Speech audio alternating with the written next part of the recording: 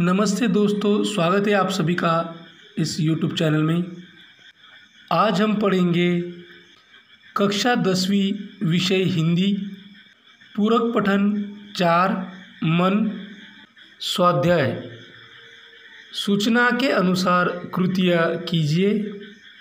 एक, लिखिए, निम्नलिखित हाइकू द्वारा मिलने वाला संदेश।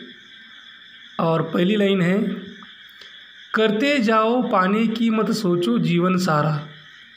इससे मिलने वाला संदेश है, हमें पूरे जीवन भर अपना कार्य, अपना काम करते रहना चाहिए। हमें कुछ प्राप्त होगा, इसके बारे में नहीं सोचना चाहिए। दूसरी लाइन है, भीतरी कुंठा नैनों के द्वार से आई बाहर, और इससे मिलने वाला संदेश है जब हमारी आँखों से आँसू बहते हैं तो समझना चाहिए कि हमारे मन की कुंठा हमारी आँखों से, हमारी आँखों के द्वार से बाहर आ रही है। दूसरा, कृति पूर्ण कीजिए। हाइकू में प्रयुक्त महीना और उसकी ऋतु। हाइकू में प्रयुक्त महीना है फागुन और उसकी ऋतु है वसंत। तीसरा उत्तर लिखिए। उसमें पहला है, मंझधार में डोले, और उत्तर है, जीवन नैया। दूसरा है, छिपे हुए, उत्तर है, सितारे। तीसरा, धुल गए, उत्तर, विषाद। चौथा, अमर हुए, उत्तर, गीतों के स्वर। चौथी कृति है निम्नलिखित काव्य पंक्तियों का केंद्रीय भाव स्पष्ट कीजिए। और पहला है, चलती सात पटरिया रेल की, फिर भी मौन। इन काव्य पंक्तियों का केंद्रीय भाव है। रेल की पटरियाँ कई सालों से साथ साथ चल रही है, पर वे हमेशा मौन रहती है। वे कभी एक दूसरे से बातें नहीं करती। दूसरी पंक्तियाँ है, कांटों के बीच खिलखिलाता फूल देता प्रेरणा। कांटों के बीच खिलखिलाता फूल देता प्रेरणा। इन पंक्तियों का केंद्रीय भाव है, गुलाब का फूल कांटों के बीच रहकर भी खिलखिलाता है, मुस्कुराता है। वही हमें प्रेरणा देता है। हमारे जीवन में कितने ही कांटे क्यों न हो, परेशानियाँ क्यों न हो, हमें हमेशा मुस्कुराते रहना चाहिए। अब हम बढ़ेंगे उपयोजित लेखन की ओर। वक्तृत्व प्रतियोगिता में प्रथम स्थान पाने के उपलक्ष्य में आपके मित्र या सहेली ने आपको बधाई पत्र भेजा है।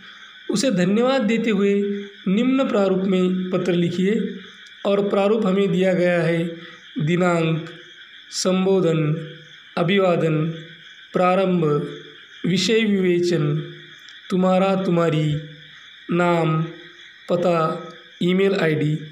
इस प्रारूप में हमें यह पत्र लिखना है। बाईस आठ दो हज़ार इक्कीस, प्रिय रणवीर नमस्ते।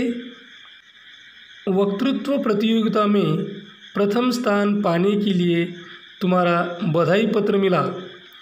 पत्र देखकर मेरी खुशी का ठिकाना नहीं रहा। तुम्हारे जैसे मित्रों की वजह से ही आज मैं इस ऊंचाई पर पहुँचा हूँ।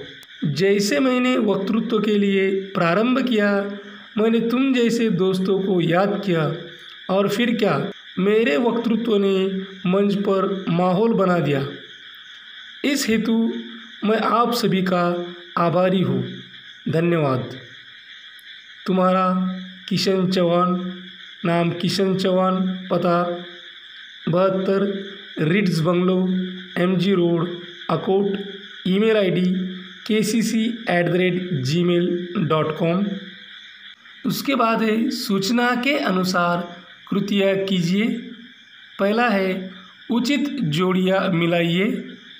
असंच में है मछली, गीतों के स्वर, रेल की पटरियाँ, आकाश और आसंच में है मौन, सुना, प्यासी, अमर पीड़ा। और उचित जोड़िया है मछली, प्यासी, गीतों के स्वर, अमर, रेल की पटरियाँ मौन, आकाश, सुना। दूसरी कृति परिणाम लिखिए।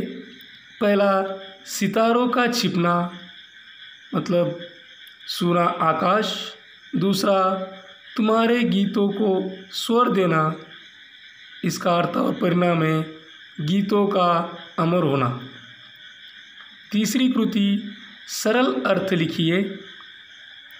मन की पीड़ा, छाई बन बादल, बरसी आँखें। इस पंक्ति का सरल अर्थ है, जब मन की पीड़ा, मन का दुख, दर्द बहुत गहरा होता है, ज़्यादा होता है, तब वह बादल बनकर अश्रुओं के रूप में बरसता है। यह हमने इस पूरक पठन का स्वाध्याय पूरा किया। ऐसे ही हिंदी विषय और भी विषयों की वीडियो देखने के लिए इस चैनल को सब्सक्राइब करें। हमारे सभी वीडियो आप तक जल्द से जल्द पहुँचने के लिए बेल आइकॉन बटन को क्लिक करें। अगर आपको यह वीडियो पसंद आया हो तो लाइक करें, अपने मित्र से वीडियो में ज़्यादा से ज़्यादा शेयर करें। अगर कोई सुझाव है, प्रतिक्रिया है तो कमेंट बॉक्स में कमेंट करें। इस वीडियो को अंत तक देखने के लिए धन्यवाद। Thank you thanks a lot